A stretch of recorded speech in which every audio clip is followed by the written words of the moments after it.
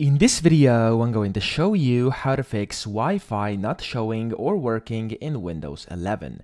So in case you cannot even see this icon down here at the bottom right in your Windows 11 computer, or if your Wi-Fi isn't working at all, I'm going to show you two simple fixes that are going to fix this for you as well. So the first thing you can do is you want to click over here, so where you can see those icons, click over here, no matter where, even if this is not showing, and make sure you click on airplane mode, turn that on, wait for like like 15 to 20 seconds and then turn that off and then hopefully Wi-Fi will start start working. However, in case you can't even see the icon and it's still not showing up and your internet still is not working, even when you right click it, click on network and internet settings, you come in here and everything is enabled, the airplane modes are off, the hotspots are off and then the Wi-Fi is on.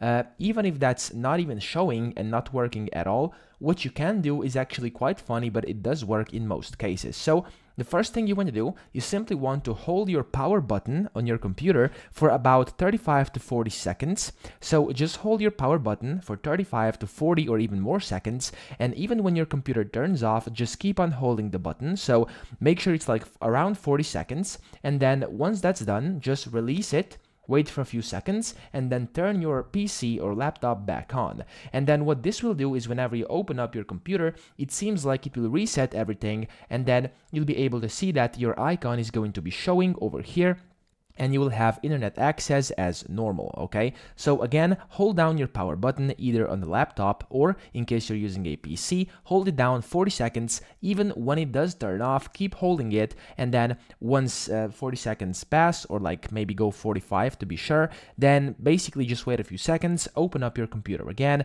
and hopefully your issue will be resolved. So that's pretty much it. I hope this video helped you out. If it did, please subscribe to the channel and help me out as well.